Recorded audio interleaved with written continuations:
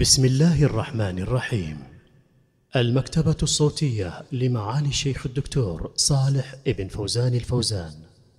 أضواء من فتاوى شيخ الإسلام ابن تيمية في العقيدة للشيخ صالح بن فوزان الفوزان حفظه الله. الدرس الثالث والخمسون. الحمد لله رب العالمين والصلاة والسلام على نبينا محمد وعلى آله وصحبه وبعد. نواصل اقتباس الأضواء من فتاوى شيخ الإسلام ابن تيمية رحمه الله. وكنا في الحلقة السابقة ذكرنا مقتطفات من كلامه في بيان أن الاشتراك الموجود بين بين أسماء الله وصفاته وأسماء وصفات المخلوقين في اللفظ والمعنى العام لا يوجب الاشتراك في الحقيقة والكيفية. قال رحمه الله ويتبين هذا بأصلين شريفين ومثلين مضروبين ولله المثل الأعلى وبخاتمة جامعة. قال فأما الأصلان فأحدهما أن يقال القول في بعض الصفات كالقول في البعض الآخر. فإن كان المخاطب ممن يقول بأن الله حي بحياة عليم بعلم قدير بقدرة سميع بسمع بصير ببصر متكلم بكلام مريد بإرادة ويجعل ذلك كله حقيقة وينازع في محبته ورضاه وغضبه وكراهته فيجعل ذلك مجازا ويفسره إما بالإرادة وإما ببعض المخلوقات من النعم والعقوبات فيقال له لا فرق بين ما نفيته وبين ما أثبته بل القول في أحدهما كالقول في الآخر. فإن قلت إن إرادته مثل إرادة المخلوقين فكذلك محبته ورضاه وغضبه وهذا تمثيل.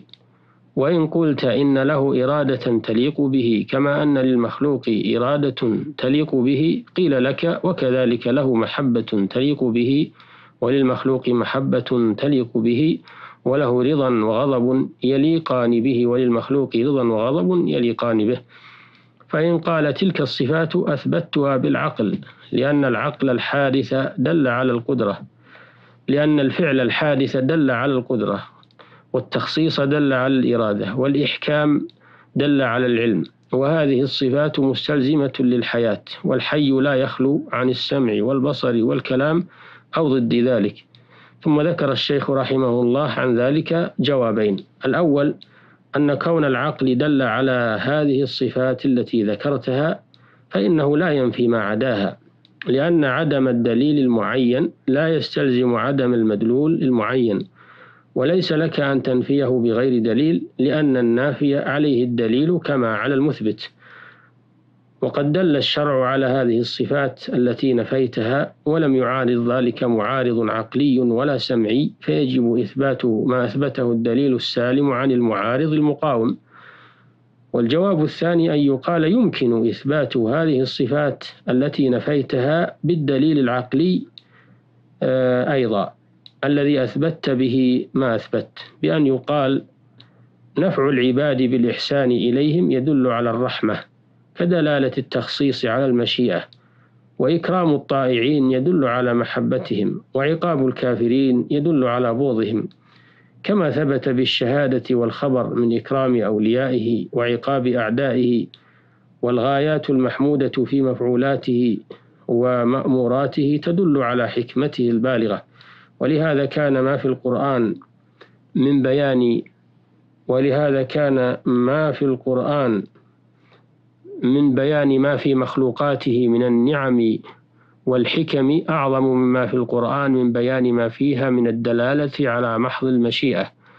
ثم قال الشيخ رحمه الله وإن كان المخاطب ممن ينكر الصفات ويقر بالأسماء كالمعتزلي الذي يقول إنه حي عليم قدير وينكر أن يتصف بالحياة والعلم والقدرة قيل له لا فرق بين إثبات الأسماء وإثبات الصفات فإنك إن قلت إثبات الحياة والعلم والقدرة يقتضي تشبيها أو تجسيما لأن لا نجد في الشاهد متصفا بالصفات إلا ما هو جسم. قيل لك ولا نجد في الشاهد ما هو مسمى. حي عليم قدير إلا ما هو جسم فإن نفيت ما نفيت لكونك لم تجده في الشاهد إلا للجسم فانفي الأسماء.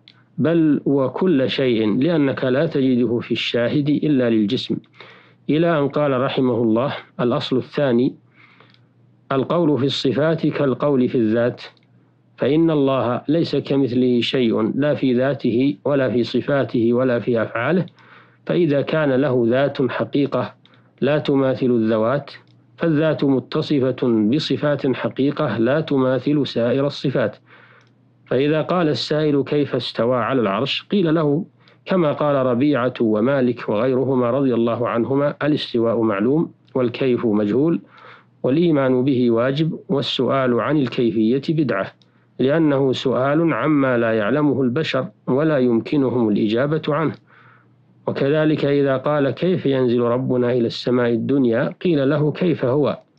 فإذا قال لا أعلم كيفيته قيل له ونحن لا نعلم كيفية نزوله إذ العلم بكيفية الصفات يستلزم العلم بكيفية الموصوف وهو فرع له وتابع له فكيف تطالبني بكيفية سمعه وبصره وتكليمه واستوائه ونزوله؟ وأنت لا تعلم كيفية ذاته.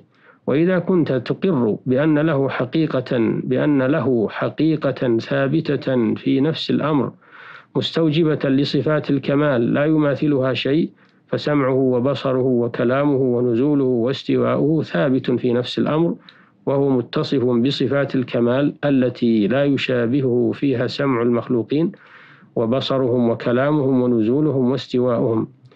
انتهى المقصود من كلام الشيخ رحمه الله وهو بهذه المناظرة مع نفاة الصفات بعضها أو جميعها قد أفحمهم وألزمهم بالاعتراف بالحق وإلا كانوا معاندين. فالواجب على المسلم الإيمان بما جاء في الكتاب والسنة من صفات الله وأسمائه وألا يتدخل بعقله القاصر وفهمه الكاسد في تأويل النصوص وصرفها عن معانيها الصحيحة بل فرضه التسليم والوقوف عند حده.